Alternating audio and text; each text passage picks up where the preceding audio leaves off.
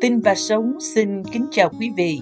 Mời quý vị cùng nghe bài đọc Đức Tin với tựa đề Người được chọn.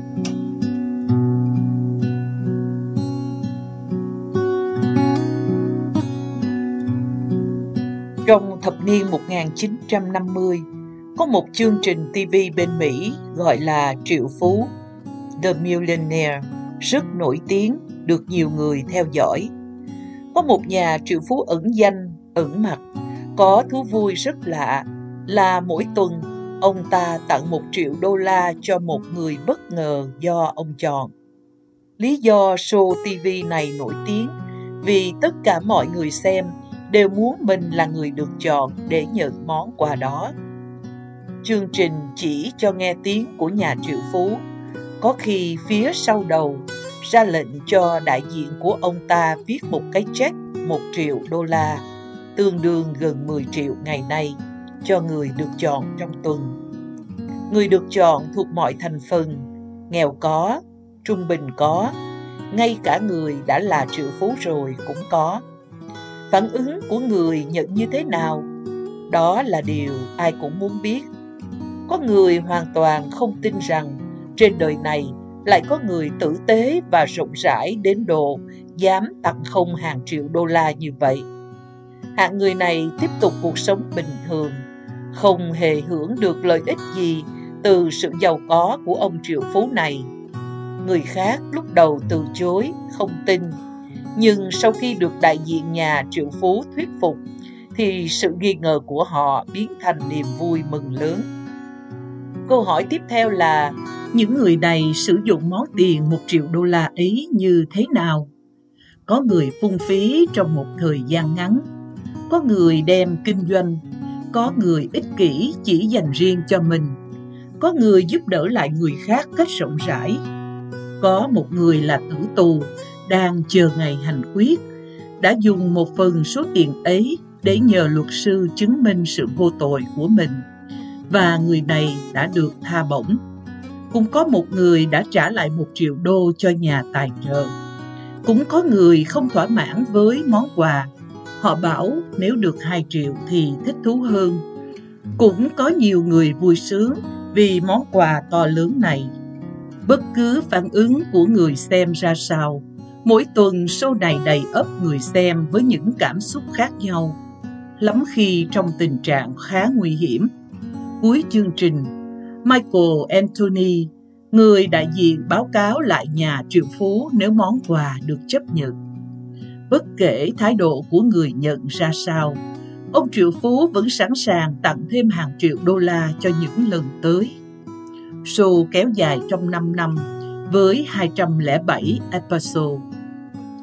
Nhà triệu phú đã chi ra hơn 200 triệu đô la, tương đương 2 tỷ đô la ngày nay show triệu phú này, nhắc chúng ta về ơn điển lạ lùng của Đức Chúa Trời. Ngài đã ban con độc sanh là Chúa Cứu Thế Giêsu cùng với mọi thứ phước thiên liêng ở các nơi trên trời cho những ai tin nhận Chúa Cứu Thế Giêsu là những tội nhân không xứng đáng. Nhưng con người phản ứng trước ân điển này với nhiều thái độ khác nhau. Có người hoàn toàn từ chối món quà của Đức Chúa Trời trong khi đó, có người lúc đầu từ chối, nhưng sau được Chúa Thánh Linh thuyết phục và chấp nhận biến cuộc đời sống trong vui mừng trọn vẹn. Sứ đồ Phaolô cho biết, trước khi sáng tạo vũ trụ, Đức Chúa Trời đã chọn chúng ta trong Chúa cứu thế để chúng ta trở nên thánh hóa không có gì đáng trách trước mặt Ngài.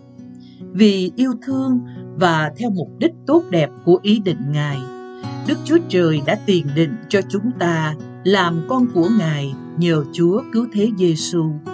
Epheso đoạn 1, câu 4 đến câu 5.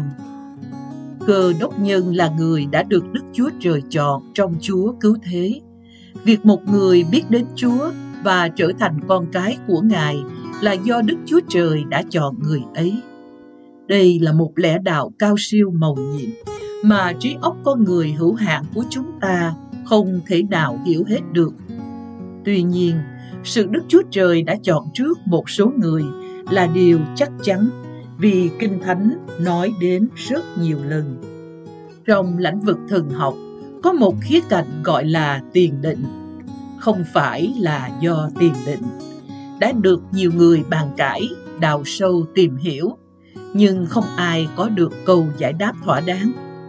Vì vậy tôi cũng không có ý dẫn quý vị đi vào đề tài này theo lĩnh vực thần học, nhưng chỉ muốn cho quý vị thấy được ơn điển kỳ diệu của Đức Chúa Trời đối với cá nhân của mình qua sự chọn lựa của Ngài trên từng cá nhân quý vị. Điều trước tiên chúng ta cần nhận thức là sự lựa chọn của Đức Chúa Trời không dựa trên đạo đức của con người. Nhưng sự lựa chọn của Đức Chúa Trời đối với con người dựa trên căn bản tất cả đều bị hư mất. Tất cả nhân loại ở trong án phạt của tội lỗi và điểm cuối của án phạt đó là hồ lửa đời đời, nơi địa ngục. Đức Chúa Trời chọn theo ý muốn tuyệt đối của Ngài. Câu hỏi thường được đặt ra là tại sao Đức Chúa Trời chọn một số người còn một số khác không chọn? Như vậy Đức Chúa Trời có bất công không? Thực sự thì không ai có được câu trả lời chính xác cho câu hỏi này. Đây là một bí mật thuộc về Đức Chúa Trời. Tuy nhiên, Đức Chúa Trời không chọn theo cách thảy đồng tiền sắp ngửa. Kinh Thánh cho biết, Đức Chúa Trời không muốn bất cứ một ai bị hư mất, nhưng muốn mọi người đều được cứu chuộc. Chúa Giêsu cho biết, vì Đức Chúa Trời yêu thương thế gian, đến nỗi đã ban con một của Ngài, hầu cho hễ ai tin con ấy không bị hư mất mà được sự sống đời đời. Giăng đoạn 3 câu 16 Câu này cho thấy bất cứ hễ ai tin Chúa cứu thế Giêsu đều được sự sống đời đời. Đức Chúa Trời có một sự chọn lựa. Sự chọn lựa đó là hễ ai tin con Ngài thì được sự sống đời đời. Sự đáp ứng của con người và chương trình của Đức Chúa Trời trong sự chọn lựa như hai đường song song chỉ gặp nhau ở vô cực. Một người được hỏi do đâu anh có được sự cứu chuộc? Người ấy trả lời, Đức Chúa Trời thực hiện phần của Ngài, tôi thực hiện phần của tôi. Tưởng anh này tà giáo, nhưng anh giải thích, phần của Đức Chúa Trời là cứu chuộc, phần của tôi là phạm tội.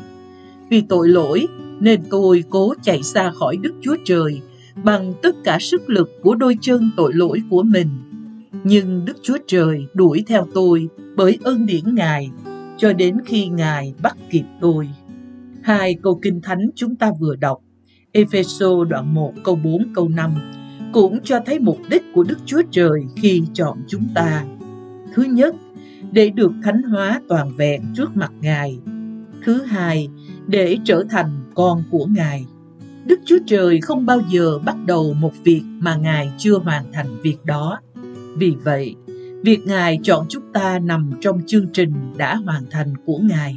Kết quả cuối cùng của sự tuyển chọn này là để chúng ta trở nên thánh khiết trọn vẹn, trở thành con cái toàn hảo của Ngài, để cùng tiếp tục bước vào cõi đời đời. Mặc dù trong thời điểm hiện tại, có nhiều con của Chúa luôn sống trong thất bại, sống hâm hẩm, sống trong sự yếu đuối. Nhưng rồi cuối cùng, chúng ta sẽ được toàn hảo giống Đức Chúa Trời toàn hảo và sống trong cõi đời đời vinh hiển với Ngài. Quý vị, người đang đọc những dòng chữ này là con người đặc biệt, là những người được chọn lựa của Đức Chúa Trời.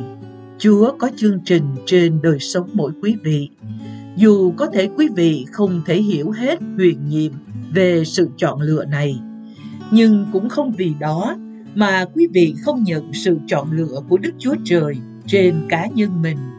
Chúng ta cần có cái nhìn đúng đắn đối với vấn đề này.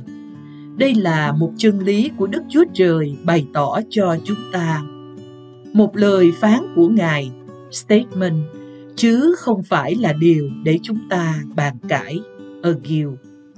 Chúa Giêsu Giáng sinh là để bày tỏ ơn điển cứu chuộc của Đức Chúa Trời ban cho người được chọn cơ hội nhận biết ơn điển diệu kỳ của Ngài. Mời quý vị hãy chấp nhận sự chọn lựa của Đức Chúa Trời trên cá nhân mình qua việc tiếp nhận Chúa Giêsu làm cứu Chúa cuộc đời mình. Thánh kinh xác quyết, bất cứ ai tiếp nhận Ngài, Chúa Giêsu, tức là tin danh Ngài, thì Ngài ban cho họ quyền trở nên con của Đức Chúa Trời. Văn đoạn 1 câu 12 Muốn thật hết lòng. thank you